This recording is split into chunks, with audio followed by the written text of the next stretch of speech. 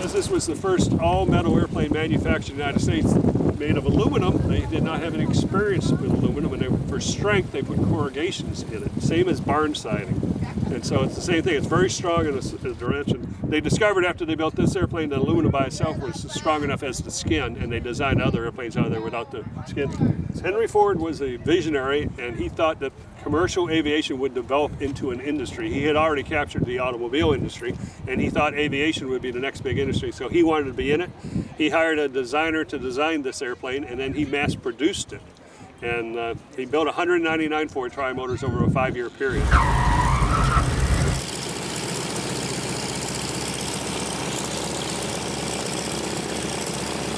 Well, Henry Ford, when he caused the airplane to be designed, wanted a very safe airplane.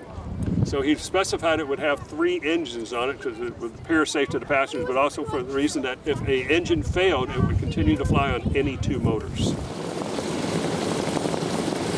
It has 10 passenger seats in the back and uh, two pilots up front. It's just different, but people enjoy it. And the seats are comfortable. They're big seats, lots of leg room, uh, headroom. You can walk around inside the airplane.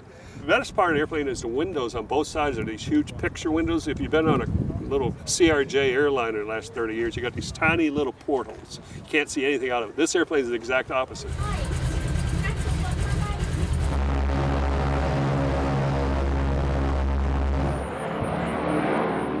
It's a blast to fly it. It's a total different experience than flying a uh, airliner as far as the control inputs. It's old. It requires uh, seat of the pants flying. It's called a different set of skills, and I enjoy flying this airplane for fun on a warm, sunny day.